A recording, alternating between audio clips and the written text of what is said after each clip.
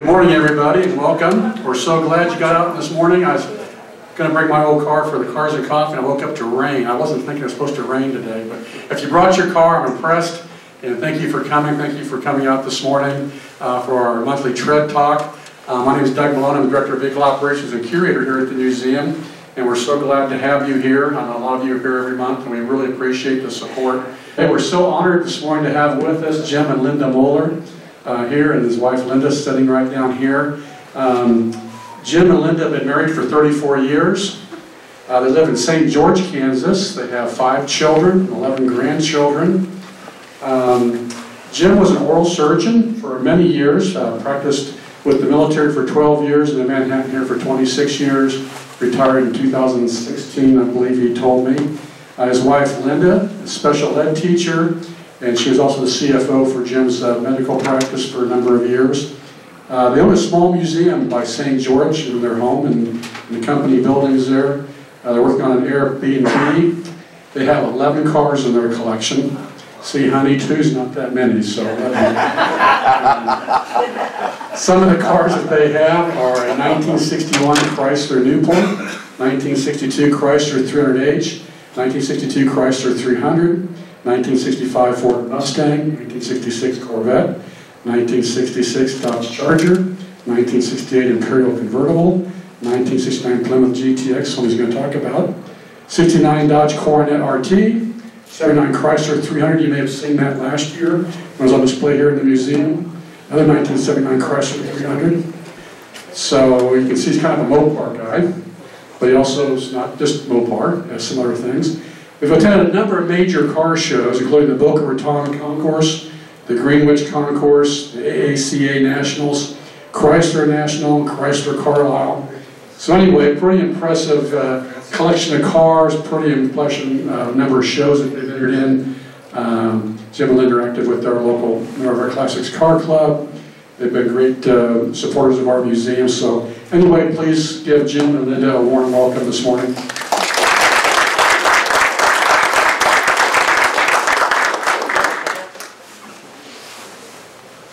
Oh, good morning. Is this on? Yeah, you gotta hold it clear. Oh, clear up, okay. Well, good morning, everyone.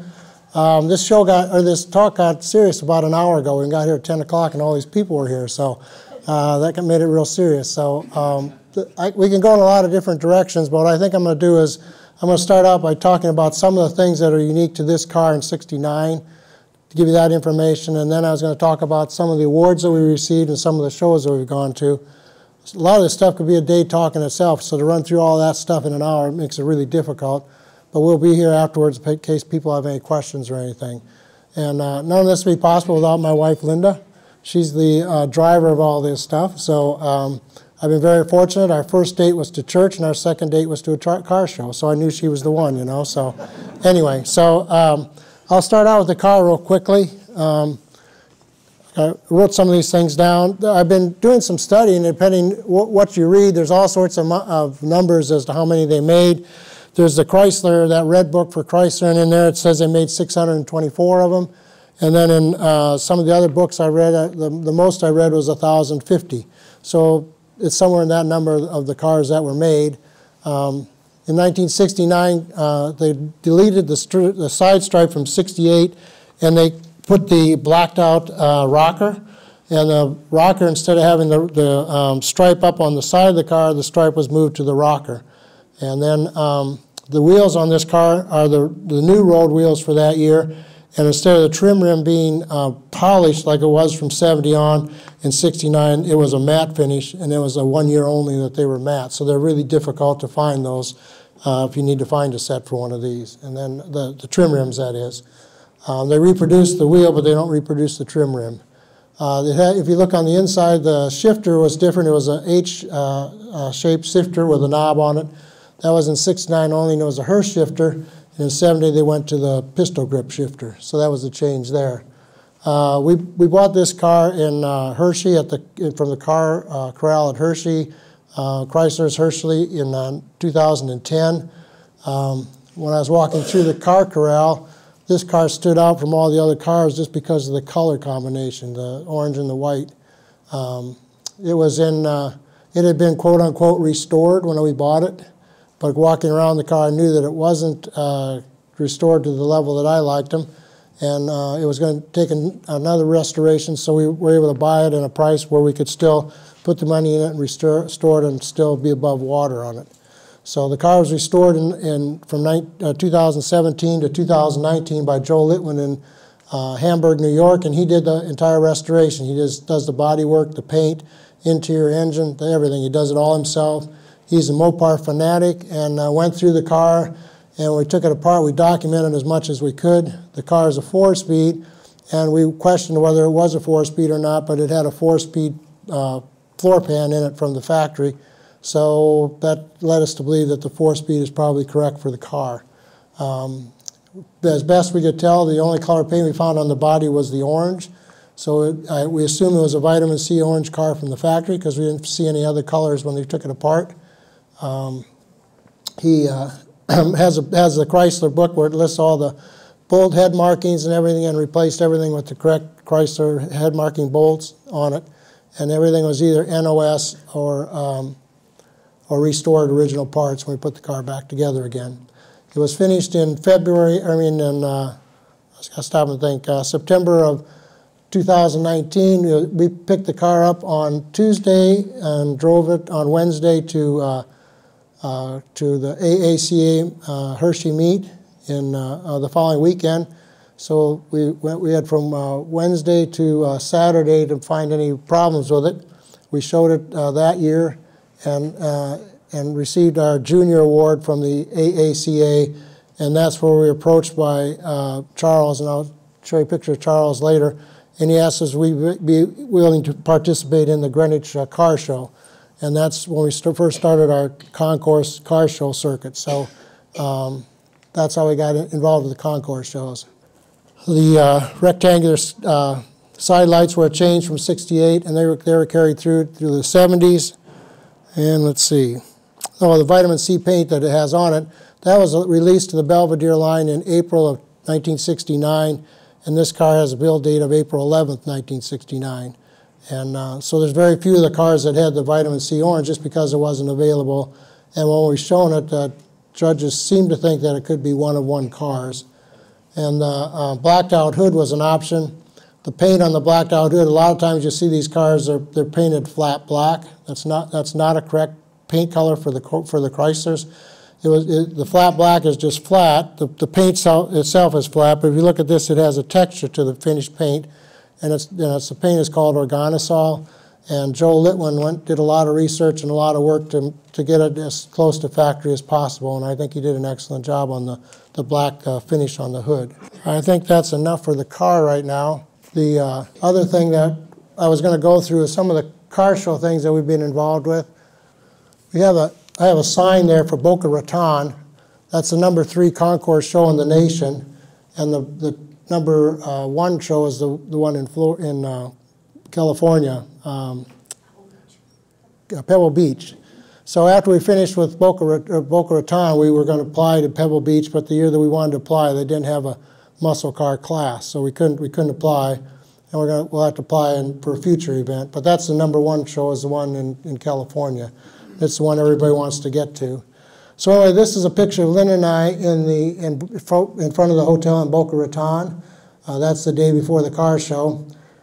Uh, we both look kind of fat there. We're not that fat. Uh, the reason is I, I'm not a tech, non-technological person, but each of these slides I had to enlarge them to fit this, the, the screen. So uh, I didn't notice it at first, but my daughter has since told me how to do it the correct way. But anyway, that's why we look fat. So we're not fat people. So anyway, so let's see here. So um, we were going to stay at the hotel in Boca Raton. It's a beautiful hotel, has a beautiful lobby, beautiful restaurants. $895 a night, so we decided after that, that we'd have to stay somewhere else. So, but anyway, at least got our picture in front of it. So, and then this is the, the there's a boulevard in front of the, the, the show is on the uh, putting, the driving green for the uh, golf course for Boca Raton. And this is a boulevard, two-lane boulevard in front of that uh, uh, green. And you unload the cars in the street. So this, we got up really early on that morning to take the car over and unload it. Um, we could have left it overnight on the show, uh, show field, but we, we didn't feel comfortable doing that. So anyway, so we got there early, and the reason that was kind of a good thing and unloaded the car. Uh, This is the, the boulevard was almost completely lined with cars uh, later in the morning, and it was real difficult to get them unloaded and get them to the show field later on. But there was just a lot of cars there and a lot of beautiful cars. This is us on the show field, so you can see this is the, this is the golf course where the, car- where the cars were, and it's, it goes way over here and way over there. But this is just the, the small area where they were doing the muscle cars. And there- there's someone left their car overnight. The only thing is they have a car cover on it, but you're right close to the ocean. And uh, I don't know, we just didn't feel comfortable with po- possibilities of rain and weather and things. So we just, we kept the car in the trailer till we had on the show field. This is Joe Litwin, the young man that restored the car for us. And uh, he's been with us at uh, all the, the shows that we've gone to since it's his car and his restoration. So we wanted to make sure he got credit for what he had done for it. But he's a great young man. He's in his, his in his 30s, and uh, like I said, a Mopar fanatic, and he does everything. And that's really unusual in a, in a young person. And we're glad, to, or we were happy to take him with us and let people know that young people are there are young people are in, in, interested in these uh, older cars. So we were getting everything out to get ready to prep the car. And this is the judges. The, there's five of them one, two, three, four, five. And uh, they spent probably 20 minutes going over the car. Each judge does a separate area. And this judge was the head judge. And after they got kind of started, he took me aside and asked me about kind of the history of the car. And then he said to me, he said, he said, you know, he said, this is a girl car. And I said, really, what do you mean by that? And he said, well, I said, if a man would order this car to have a black top and a black interior.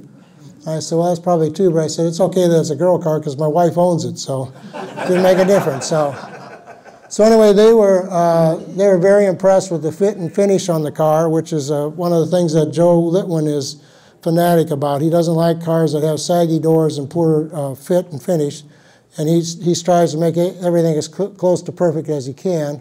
So he had uh, kudos to him. He did, he did well, and the judges had lots of uh, praises for him.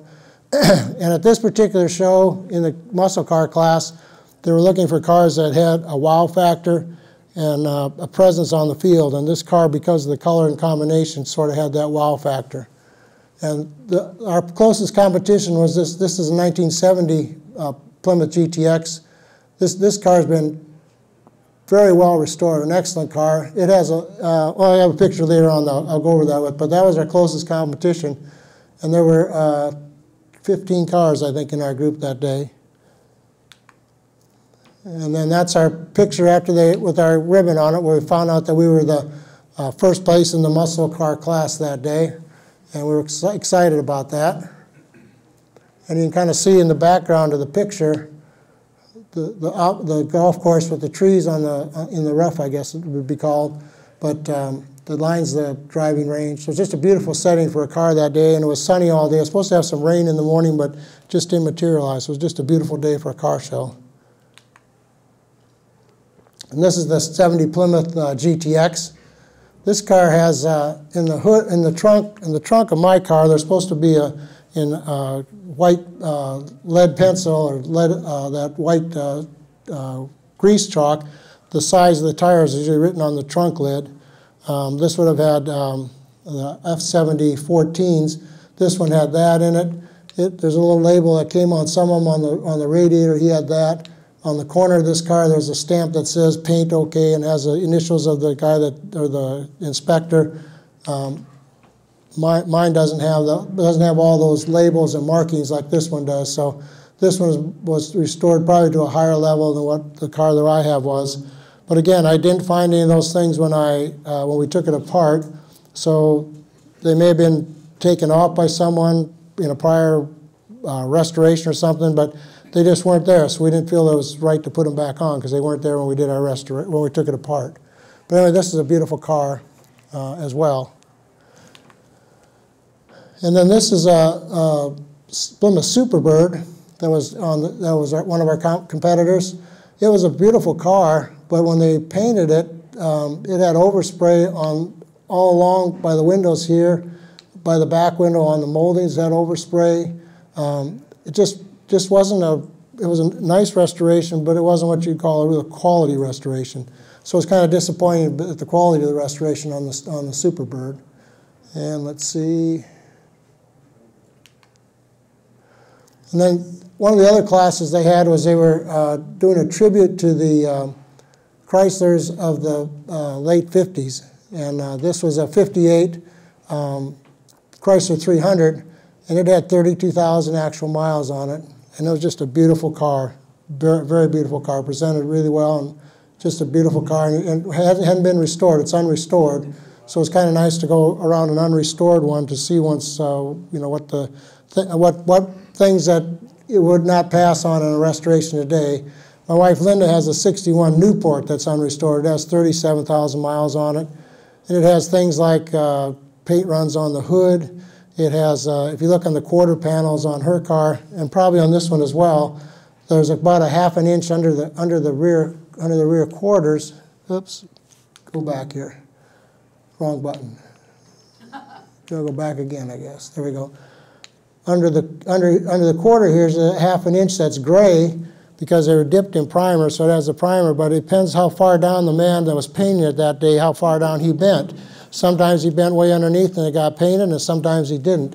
And on Linda's, there's probably a half an inch of gray primer where they just didn't bend down quite far enough to get everything. So when you have a car that's unrestored, it's really nice to kind of go over those and see once, a lot of times when they judge these cars, they say, well, they were all the same, and we restore them all exactly the same, but when you look at an original car, you find out they weren't that way. And I think sometimes by judging these cars, you, you lose some of those uh, individual things, the, the quirks of the factory, so to speak. If, one, if they didn't have the right bolt marking for, for, an in, for a car, they didn't shut the whole assembly line down until someone got a bolt that was the right head marking, they used whatever they had. And um, sometimes, if they didn't have the right color part, they used a different part. So um, so in some ways, I think we lose that when we uh, restore all these cars to one standard. But anyway, this is a beautiful car. Oops, get wrong button. I'll get the buttons down. So that's Joe, Joe Litwin, who restored the car. And this is, that, that's me. We're not that fat because it's just the way I did the pictures. Just remember that, we're not that fat. It's the pictures, okay? It's my fault. But, but anyway, that was a picture we took uh, of the car just before, after we had it cleaned up and ready for restoration or for judging. And then they took a picture of the three of us at the show. Make sure you notice Linda's go-go boots. She looks great in those. I, I, was supposed to point that out for you. And uh, and they gave us this, they gave us all they gave a, a, picture for attending the show, and it's a professionally taken picture. So we're kind of happy to have that. And then this is a picture of the car with its uh, with its ribbon, and that's Joe again in front of the hotel in Boca. It looks a lot better with the top down than it does with the top up. So Joe's always happy when they're done judging. He can rip the, the uh, top down and put the, uh, the tonneau cover on it. So, and then just have a couple more pictures. There it is in front of the uh, Boca again. And another one. So that was Boca Raton. That's number three concourse show in the country. And let's see, um, I guess I got to go over this real quick here.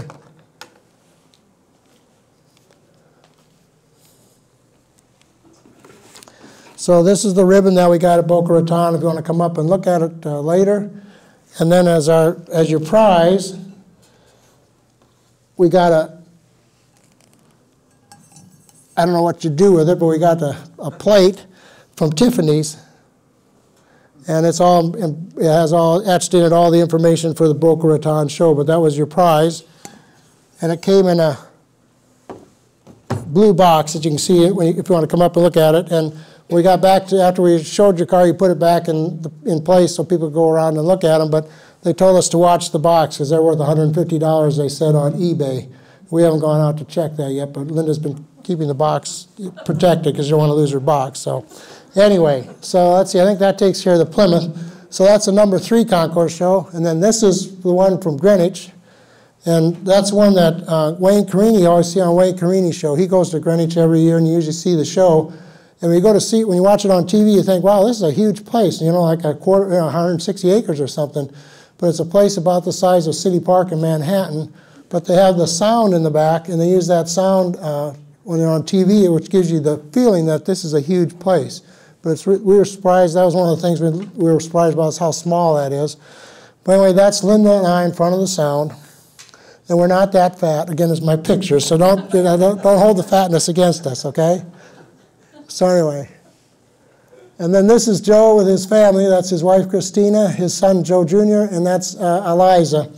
And Eliza's going to be a handful for them when she's 16. But anyway, that's some more of the sound. And uh, the the country club is over here to the to the left, to your left. And I have a picture of that a little later. And then the sound goes out, and again, they use this this background, this beautiful background, which gives you the feeling of a huge place. But anyway, that's the Joe and, and uh, Liza. And there, were, there was a dock by the country club that you could walk along. We were walking along the dock by the country club.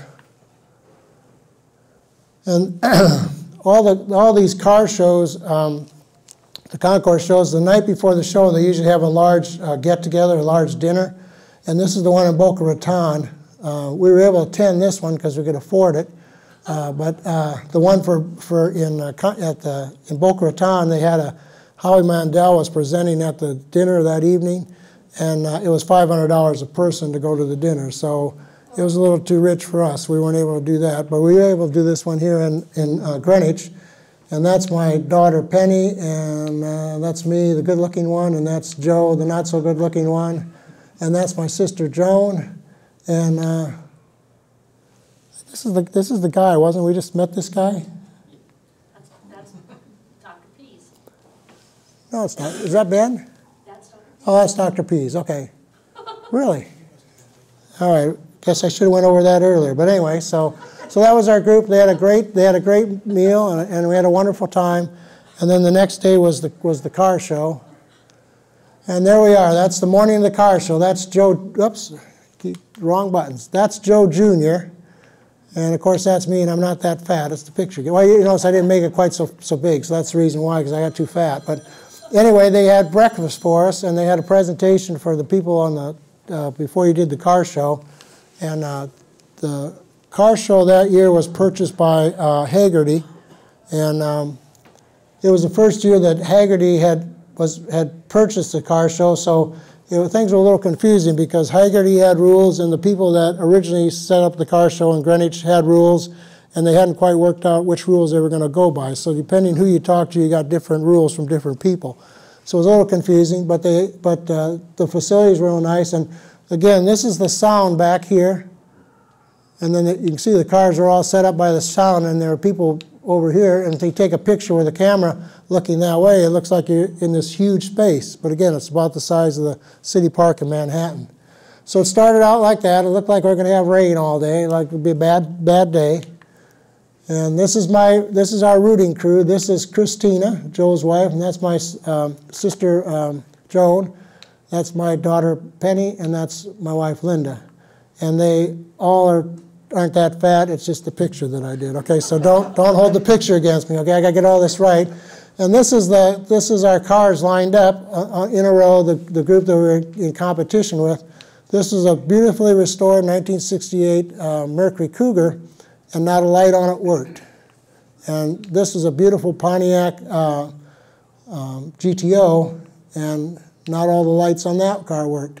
The cars were so evenly matched that day in competition that they decided that they were going to go down the, down the line and check who had lights and who didn't, what lights worked and what lights didn't work. That's how they differentiated between the cars, so they were that close in the competition.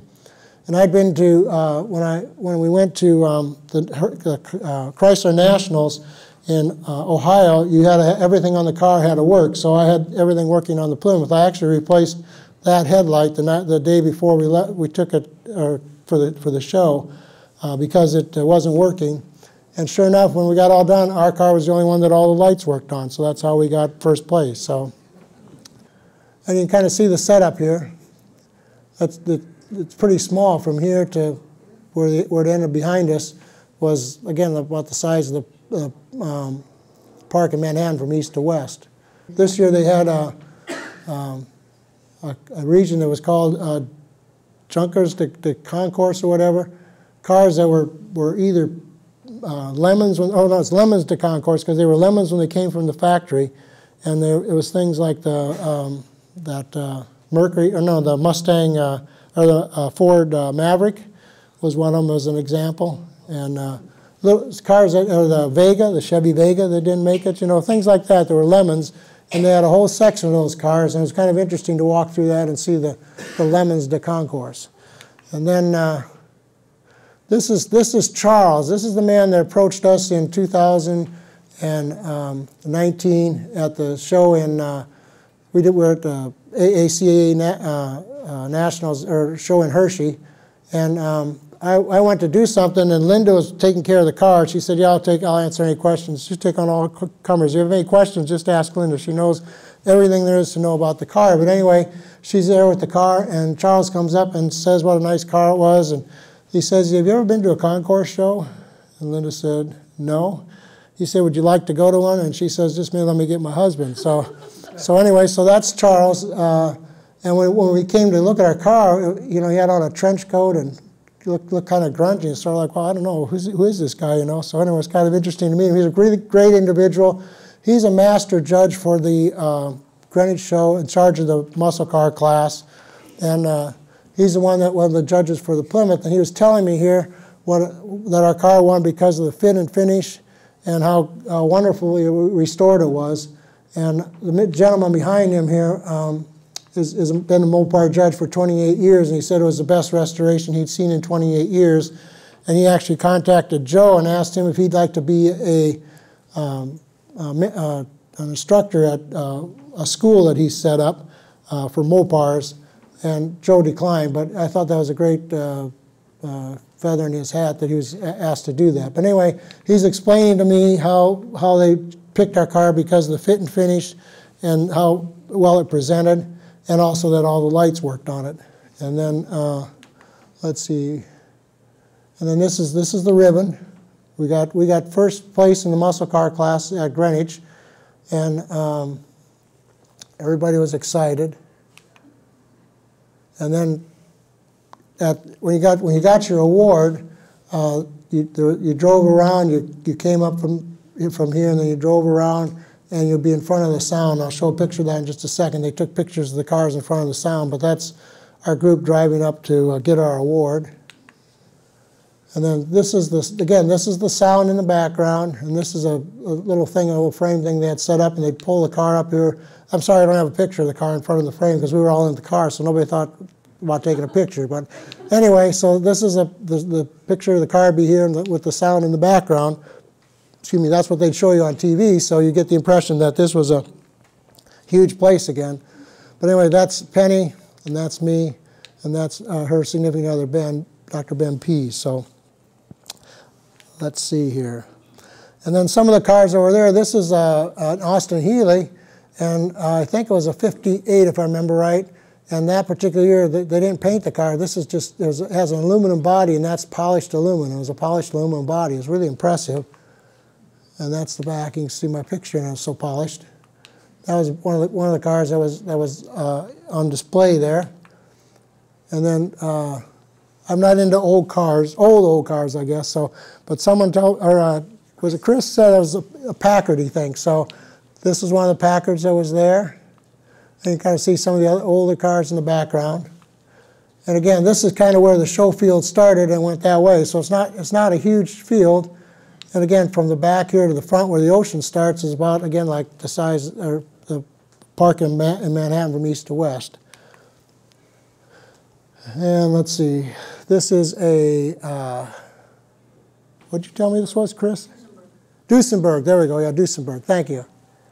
So I told you Linda should be giving the, the, uh, the, the, lecture here. But anyway, the Duesenberg, they had a row of Duesenbergs, the doozies, and they were kind of beautiful cars to see. So, and then this is in this is in downtown Greenwich. This is about two blocks from where the car show was, and this is actually you can see a residential combination residential uh, um, commercial area. And we're going to walk down here to the corner, make a right here, and then kind of right where this building is, is a restaurant. And there they are, that's Christina, and that's Liza and Joey again. And the restaurant was just kind of a little hole in the wall, but the food was fantastic. That's their pancakes.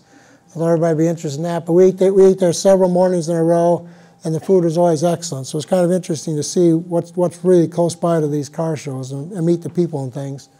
Actually, that's the best thing about the, this hobby is the people that you meet along the way. There's, everybody has stories and things about the people they met along the way And then this is the last slide, but this is the, um, again, this is the uh, sound, and then this is the um, patio, the uh, deck, or the, yeah, the deck or patio for the uh, uh, country club that's there. And that's where we had the- our dinner the evening that we, that we, uh, before the show, they had a dinner for all the participants, and it was on this sound here. It was just a beautiful setting, so um, it's just a beautiful area. So that was Greenwich. Let me see, I think that's it. Yep, that's it, okay. So um, from the Greenwich show,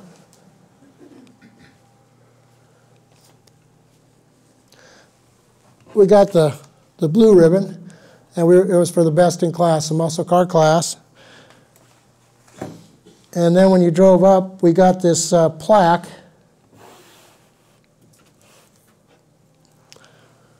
And uh, th- that was a plaque from them. And it's a, it's a good husband beater, so I don't say too many bad things in front of Linda when she has this in her hand. But anyway, so that's, that's two of the awards that we have here. And then before we went to the uh, concourse show in, her, in Greenwich, um, we got invited to the concourse show in Des Moines. There's one in Des Moines, Iowa. And you should apply to there. I got an email that they're looking for applicants, so if you're interested, it's online. You do an online application, and it's a great uh, car show to go to. We went there because we wanted to kind of find out what concourse shows were like before we went to the one in uh, Greenwich. We got second place in the muscle car class in Des Moines, and it was a learning experience for us. We learned a lot of things there about concourse shows. Um, and then uh, our car, we've shown it at the AACA, and uh, we have the, uh, get these in order for you.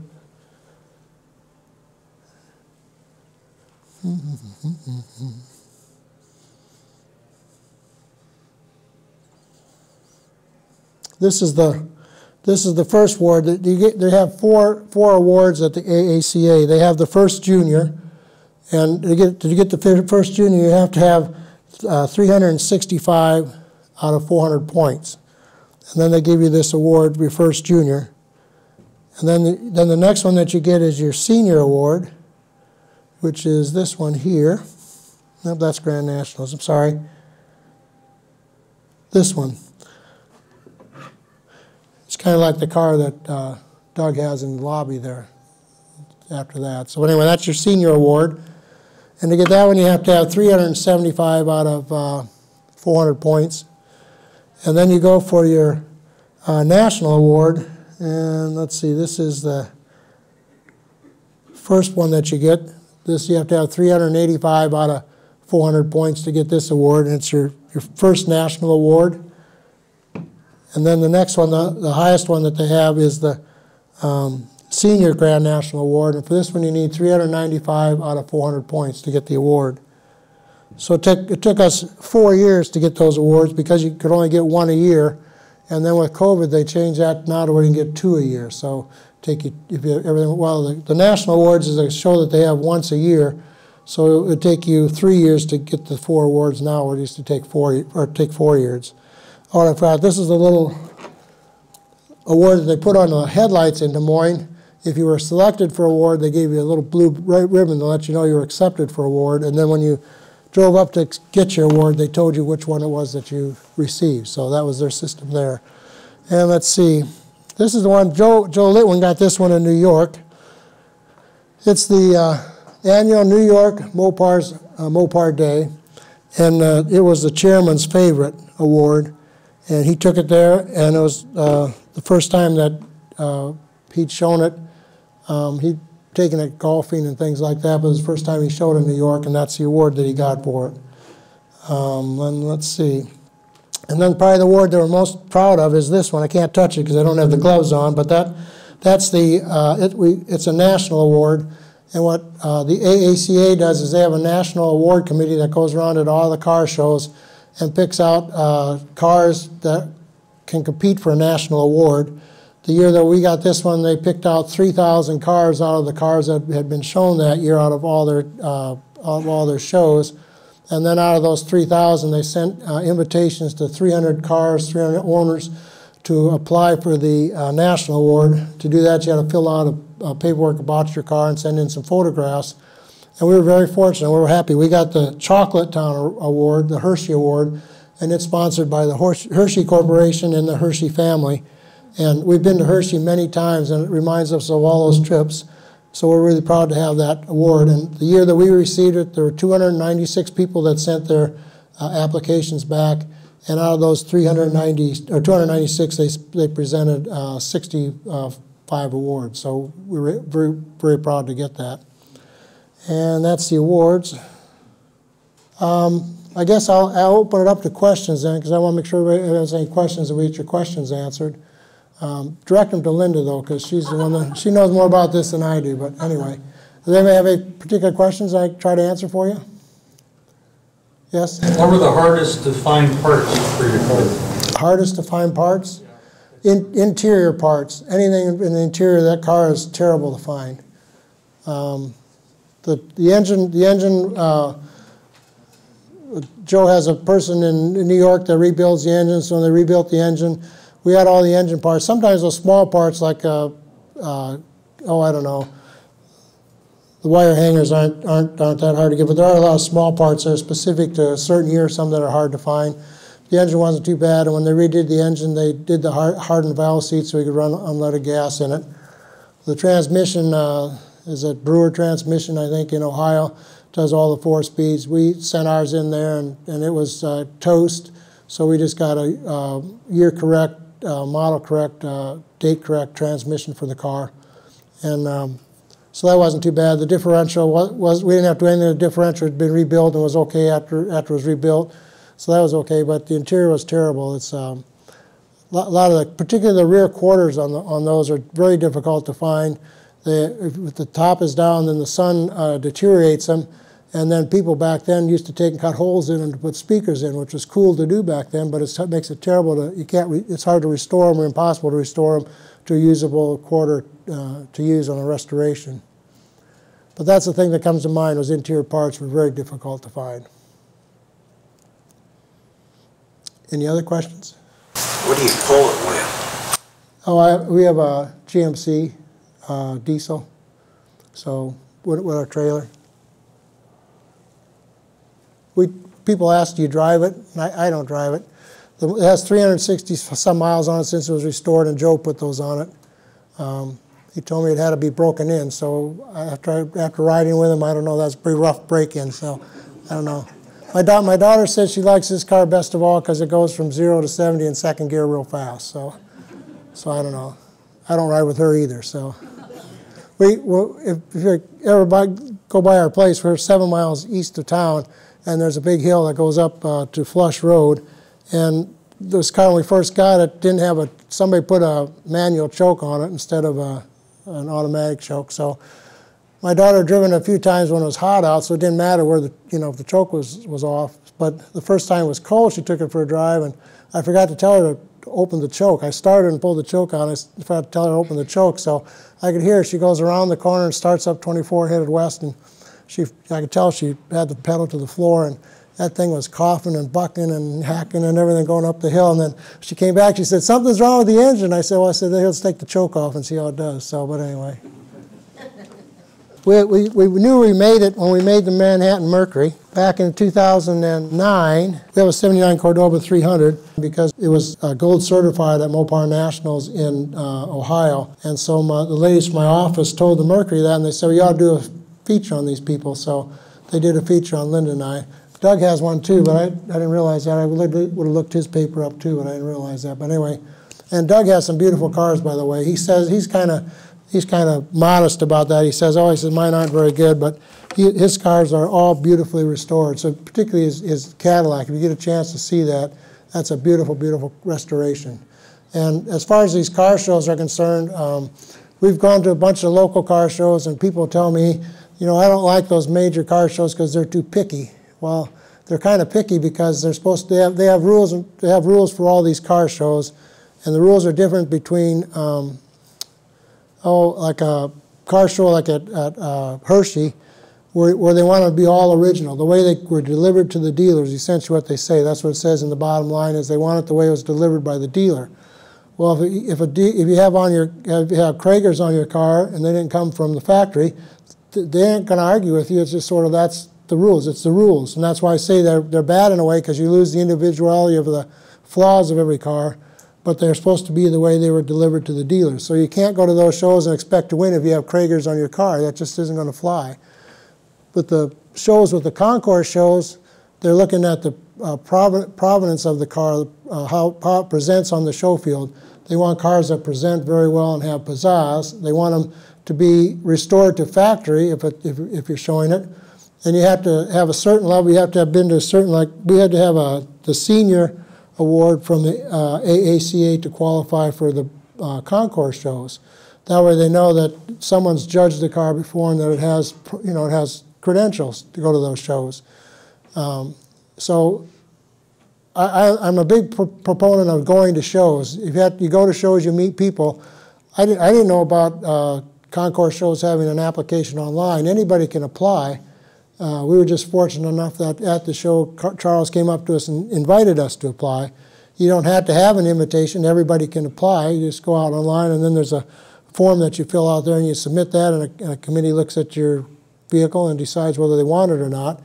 And every year at the concourse shows, they usually uh, have uh, feature a particular era or year of, of vehicles. So if you happen to apply the year that they're featuring your vehicle, you have a much better chance, I think, of getting accepted than if you randomly apply. But you have to do those things and um, take those steps in order to be able to get the awards and things that we have here today. So, and so I, always tell people at the car shows that when they say that, I say, well, you got to realize there are rules and you have to kind of play by the rules, but don't get upset if you have something that's non-factory and they get, and they ding you on it.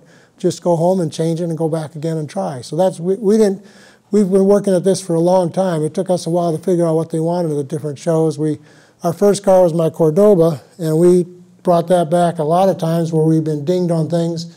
And um, one of the problems with my Cordoba is it was the first one that of that era that was was judged. So the judges said, "Well, we don't even have judging standards for this one, but we're, we're going to go by what we've been able to find out online about your car." So I got dinged on things and changed things, and it just took a while to get to where, to where we got a, a gold standard award from the um, Mopar National. So I encourage people to go to car shows. I encourage you to apply to get to, to go to these um, major shows. And if, you keep, if you're not interested in applying, at least go and look at the cars because they have some really beautiful, beautiful cars at these shows. And if you um, go to a concourse show, you know that they've uh, they've met the standard for the AACA and that they have like 475 out of 400 points. So that's a beautiful car. So anyway, I guess I can stop with that. You get tired of hearing me talk, so go ahead. Um, for these major car shows, what would be the closest to Manhattan? Uh, as far as I know, Des Moines would be the closest for a concourse show to Manhattan. And that show is held in downtown Des Moines. Um, they have plenty of parking, and it's in a, a city park down there, kind of a, I call it a city park. And um, they have, they have, I don't know how many cars they had, probably 200 or 300 cars that were judged that, that, that time that we were there. The problem with being the one that shows the car is you have to be with the car. Someone has to be with the car all the time, so it's hard for you as a, as a participant to go around and look at everything. But after they judge the car, then I would always try to run around and see what was there. But they just had some beautiful cars in Des Moines, and I wish I would have had more time to look around. But again, they're all restored to a very, very high standard. So if you want to see some beautifully restored cars, you're pretty much guaranteed them. And they have all classes of cars at the, at the major shows as well. We went to um, uh, uh, AACA. If, if, if- by the way, if you're not a member of the AACA, it's $35 a year, which is sort of not a lot of money. You know, it's just not a lot of money. And then you, you get to go participate in their organization. They're the oldest car uh, club in, the, in America. They, they've been there around 75 years. They have a, a bi-monthly uh, uh, letter that they send out about their shows and about they feature different cars and, and talk about different techniques for restorations and things. And if you go to their car shows, you're always guaranteed to see a great car show. So if you get a chance, try to belong to the club. You don't have to belong to the club to go to the shows, but if you belong to the club, you have a little more interest. You have some skin invested in the game, you know. So try to go to their shows. And um, I was going to tell you one other thing. Now, this old age has caught me again. So let's see. Anyway, oh, the, if you want to go to the, the biggest car show in the country is Hershey, the AACA show in Hershey, Pennsylvania, and that's usually the second weekend in September every year. And they have 9,000 vendors at that show. So if it's made in the auto industry, made somewhere, you'll find it at that show. And you could, it starts on Wednesday and usually ends on Saturday, and you could walk all four days and not see everything. It's just a huge show. They have usually around 1,200 cars that they judge, and they set up the show field so it's from the earliest cars in the car field. As you walk through the field, they get they get newer and newer. So you can see the changes in the auto industry as you're walking through the show field. So it's really wonderful the way they set that up. And that's a show. Uh, we went to one in um, well, most of them are that way, but we went to one particularly in Buffalo, New York, and they had um, all sorts of uh, steam engines. Uh, you don't see many of those, but they had steam cars, steam steam-driven vehicles, and then they also had a lot of the um, Duesenbergs, uh, Cadillacs, Cords, uh, Pierce Arrows, and the Pierce Arrow Museum is in uh, Buffalo, New York. And if you get a chance to see that museum, it's well worth the admission fee. Inside the museum, they have a uh, gas station that was designed by Lloyd Frank Wright. And, as, and that's an actual gas station that's built inside the museum. Doug ought to get one of those here. It'd be a big draw, you know. So anyway, but it costs $850 for the privilege of building the, the building inside the museum to use the Frank Lloyd Wright um, designs to build it. But he had things that were really ahead of times. He, he, his gas stations all had a cover over the, the portico over the over the um, tank over the uh, gas uh, gas pumps. So you'd pull up under this portico and put gas in your car. Every other gas station, it was just open to the elements. You pulled up and put gas in. If it was raining, you got rain on you. If it was snowing, you got snow on you. And then all the other gas stations had a had a uh, toilet out back, uh, and uh, uh, Frank Lloyd Wright had indoor toilets in his gas station, which was new for the time. And they also had a portico on the gas station that was covered where you could sit and eat your lunch. Because a lot of people at that time carried lunch with them, and they'd stop at a roadside stand or something, or a little roadside park to eat lunch. Well, he had put that included that in his gas station. And the greatest thing I thought was it has uh, two 40-foot copper poles that go off the roof, and under the roof they've stored 1,000 gallons of gasoline. So that didn't make sense to me because they look like two lightning rods to a 1,000 gallons of gasoline. So anyway, but that's, if you get a chance, it's in, it's in um, Buffalo. It's worth, well worth the trip to go see that. It's, yes? There's a Frank Lloyd Wright gas station in Cloquet, Minnesota that's still in use. Oh, is there? 66 station. And that's where I found out they stored a thousand gallons of gas in the second floor.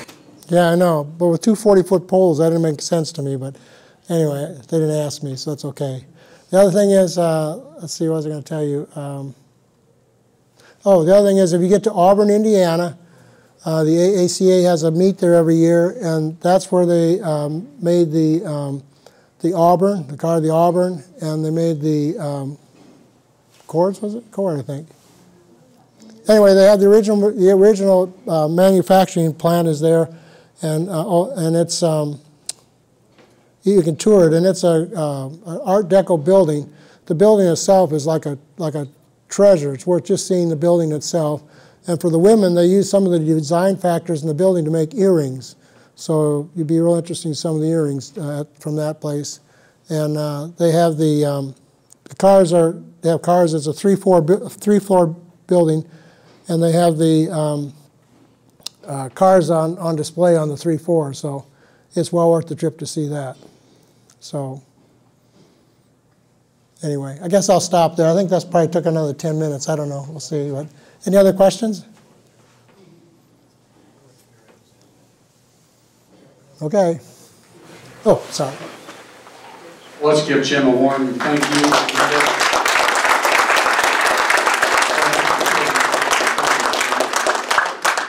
you. You know, uh, he kept commenting that the pictures were distorted and they made him look heavy. But why did the cars look okay? It was just the people.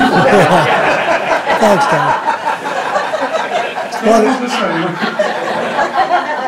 You know, he talked about all these car shows being so picky, and I can attest to that. Uh, My wife and I have gone to some Cadillac Grand Nationals, and every year we take in our car, it gets dinged for something. And you have to have evidence that that's, if you argue with me, you have to have evidence that you're correct. Remember, last one I went to, I got dinged because my antenna had a little ring around it. They said that that was a two-year later model, it wasn't on a 61. I didn't have any proof. Later I had proof, I sent to the judges so they could make amendments to their the thing. But if you don't have the evidence there with you, you still get dinged. But uh, talking about the headlights on the car, remember one of the shows I went to too, They were, had, two sixty-five Cadillac Fleetwoods, and they had them turn their lights on, all the lights came on. So then they went even further, and they put a light gauge in front of each headlight to measure, I think, the light that was coming out of it, to see if they were even. That's how picky they were at this car show. Those cars were steps above what mine were. My lights worked, but I didn't have them have measure mine, but but anyway, they're fun to go to, and it's always fun to see the cars, and You just, you just can't let them, uh, you know, hurt your feelings. It's just the set of rules, and they're going by the rules. So don't let it hurt your feelings. Just take it and move, move on, you know. And if you find the evidence, like Doug said, later on, just present it, and they'll make the changes for you. But uh, just don't take it personally. That's right, that's It's, right. easy, it's easier say, to say that than to do that, but that, that's the thing. Just don't take it personally. My my '79 Cordoba 300 I've owned since it was new.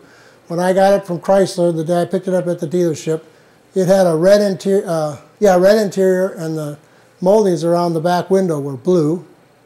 And the door panels, one on the, on the driver's side was a 300 panel, and the one on the rider's side was one from a, from a Dodge Magnum, which was the same car, just a different uh, Dodge versus a Chrysler. So, uh, and the heat shields were missing underneath, and it says right on the build sheet that where heat shields it has zero. They didn't put them on. It was something, if they didn't have it, they didn't shut the whole factory down to get it. If you, you didn't need it, it just came out off the line, and that's the way it was. It, was, it wasn't something that was critical. So I had a hard time getting them to change those things because the Chrysler's response was, well, it's, it's functional. If it was functional, that was good enough. So I had a real hard time to get the, those things changed on my 300. And when I took it apart, the, the little moldings around the back, they just took the blue ones and spray painted them red and put them back on. So that fixed that problem. And then the door panels, rather than send me the whole panel from a 300, they just, the, the panel's made in three pieces. They sent me the piece, the middle piece, that was, that was the one for uh, um, a Magnum, and took my door panel all apart and put all at one piece in and put it back on. So I don't know, it just kind of doesn't make sense sometimes, but that's how it works. So, sorry, go ahead. Now, well, thank you all again for coming out today. I Remind you, our next one will be uh, in April, it's April 1st, April Fool's Day.